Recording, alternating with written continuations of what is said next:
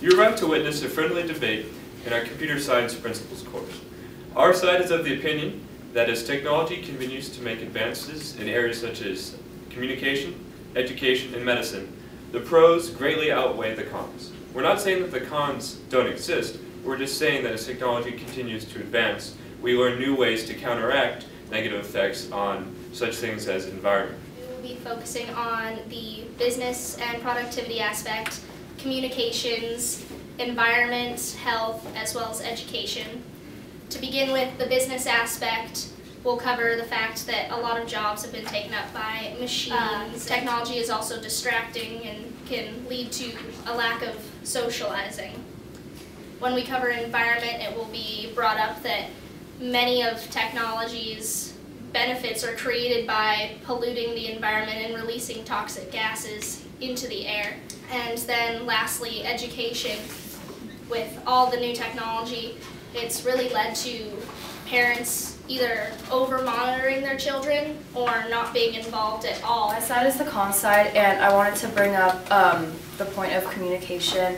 I think communication using technology has gotten a little bit out of hand. We have a lot more access to information that we normally wouldn't find out about people, such as birthdays, workplaces, schools, uh, who their friends are, what they do. Well, the thing with communication and being able to find out things about other people online is that you yourself have to post your own information, like where you were born and your birthday, like you're the one who has to put that out there. And then if other people do, they need your permission to put your information out there. So there are privacy concerns with communication, especially online and through Facebook, but it's ultimately it's your permission that decides whether or not your information is out The environment that we live in is greatly impacted by our technology. And this is because there is a positive correlation between the ongoing technological evolution and the rise in the efficiency of the fuels that we use. Our society, our society primarily depends on fossil fuel, and fossil fuel is classified as being unrenewable. There is a limit to how much fossil fuel we can use before we run out. And fossil fuel also pollutes the environment. And this inevitable fact demands that we come up with the way to increase the efficiency of fossil fuel. Uh, even though the pro-technology side argues that uh, technology uh, provides a more green world for us by uh, using less paper and using electric energy and stuff, um, we're still technology still contributes to the harmful environmental effects. Um, the silicon industry uses materials uh, that are very toxic to our earth, such as arsenic, cadmium, lead, methyl chloroform, benzene, acetone, uh, trichloroethylene, and a lot more toxic acids. So I guess an example of security breaching could be seen through what happened with Sony and the fact that they were Sony's games were being were now easily transferred from a PlayStation 3 Blu-ray system to any system, which Sony loses their monopoly with having you have to buy PS3 to play certain a PlayStation 3 to play certain games and they tried to prosecute the offender and during the prosecution they were hacked their entire PlayStation network was brought down millions of users uh, credit card information was compromised and Sony tried to rebuild to fight this anonymous group called Anonymous, and they rebuilt their network from scratch in three weeks, only to have it rehacked, redestroyed, and the credit card information once again compromised. We have an increase in security, not only in things like airports, but with just documents in general. Instead of having a folder with papers in it that could just be broken into with, the, with a crowbar or something and then stolen, people actually have to go into a computer and crack a password that's, it's much more difficult to crack than you know just a case where papers is filed. They'll also increased airport security in order to stop threats such as criminals, terrorism, and other such related things. And also, security cameras are a big thing now. A lot of things are seen on security cameras, not only crimes, but just amazing events that occur, such as doctors can take little cameras and uh, do surgery use, uh, using very small devices and the recovery time is much smaller than it would be normally, and sports injuries are reduced from months to days and weeks. surgery is much more non-invasive. The recovery time is much faster, and the surgeries can be more complicated due to the advancements in technologies that we have. So now there are imaging techniques such as MRIs or PET scans, and this allows doctors to get a comprehensive view without harming the patient. And by getting a comprehensive view of the patient, they can make accurate diagnoses faster and earlier in the process. And an earlier diagnosis leads to less costs in healthcare because preventative medicine will always be cheaper than curing something. There's also imaging technology using bioluminescence, which is really cool. It makes your body almost glow in the dark, and the computer can detect that. Um, and that's helped with a lot of um, i- um, diagnosis of internal cancers as well as research.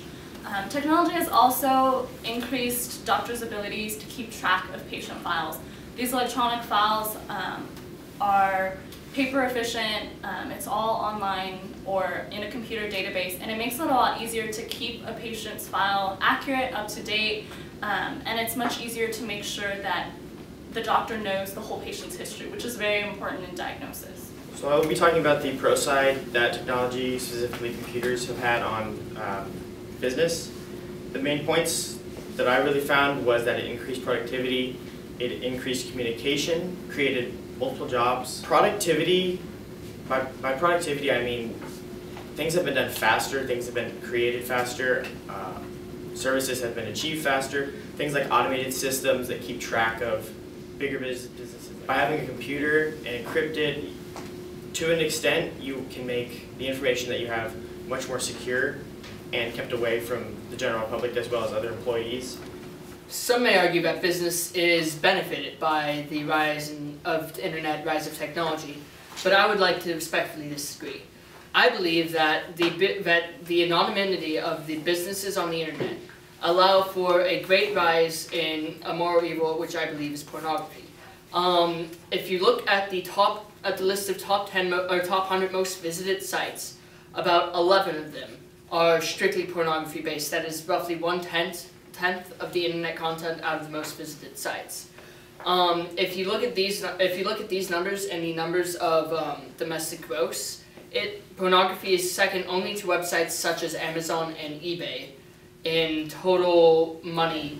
Um, the first issue associated with education that and technology is um, over monitoring. So you have websites like Turnitin.com and Zangle and things like that that allow teachers and parents to be updating at all times of the day and spending a lot of time keeping their eye on your educational progress. And I think that that is not the way that education should be, and that there should be a personal, like a more personal relationship between the parents and the students, and the students and their education. And it shouldn't be, um, no one should be watching you every step you take. If you're presenting something, sometimes students are reliant on a PowerPoint, and PowerPoints don't really convey information in a good way because it's all very linear, and it I think it deters from multidimensional thinking and thinking in you know, out of the box methods. Um, there's also low productivity associated with um, technology in education. Um, students are distracted by things like Facebook and Twitter, and then on top of that, uh, there's so much information out there that it's hard for students to pick out the information that is really necessary and to analyze it properly because there's so much to do and it's just not efficient. Um, there's also the issue with cheating. Uh, there's so much online and a lot of things Turnitin.com can't pick up and students are often tempted to use uh, information that's not really their own, thoughts that are not their own, and they're heavily influenced by what other people on the internet think and it's so easy for them that I think they're more prone to do it than they would be in a different setting with a different medium. Well, I guess that's a point, a good point, but you have to realize there's also benefits to having this Zangle or also like um, other technology to help education because it allows parents to know what's going on. A lot of times parents don't know what's going on and sometimes kids, they can't just handle everything by themselves. They need support from their family. Agree with what they said or disagree with what they said. The passion with which they said it was important to me and hopefully important to them. I enjoy this debate and I look forward to continuing discussion.